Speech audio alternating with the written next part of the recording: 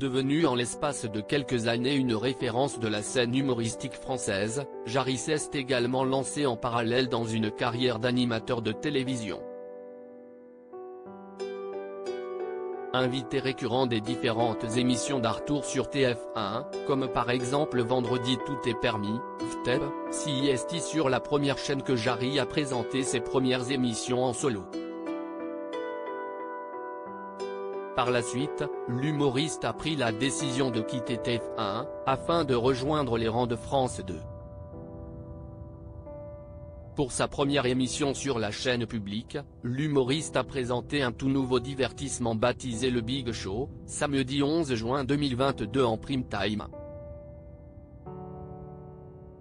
Le Big Show est un divertissement familial qui offre aux téléspectateurs une soirée d'humour et d'émotion avec une multitude de surprises plus drôles et plus émouvantes les unes que les autres, qui vous feront passer du rire aux larmes tout au long de la soirée. Un nouveau programme chaleureux, drôle, rempli de bonnes ondes et en interaction permanente avec le public, qui ne se doute jamais de ce qui va lui arriver. Les surprises de Jarry enchaîneront tout au long de l'émission, jusqu'à débarquer en pleine nuit chez des téléspectateurs.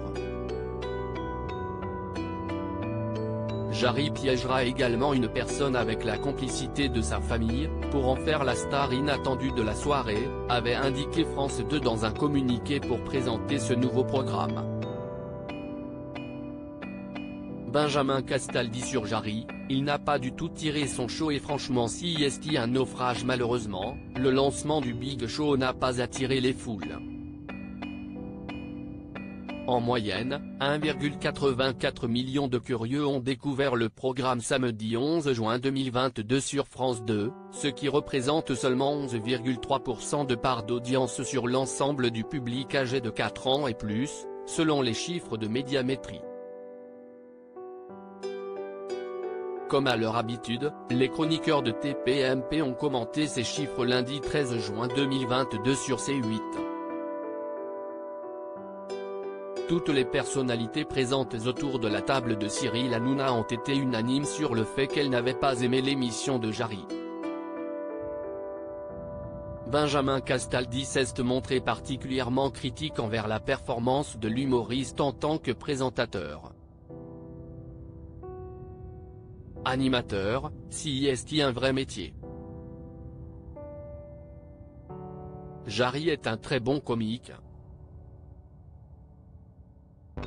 Il a un public. On le prend animateur, ça ne fonctionne pas. Il était un peu dans l'émotion, un peu dans l'animation. Il n'a pas du tout tiré son show et franchement si est un naufrage? Je trouve ça un peu désobligeant pour les animateurs de la chaîne. J'ai mis beaucoup Jarry, mais ce n'est pas un bon animateur, a déclaré le chroniqueur de TPMP.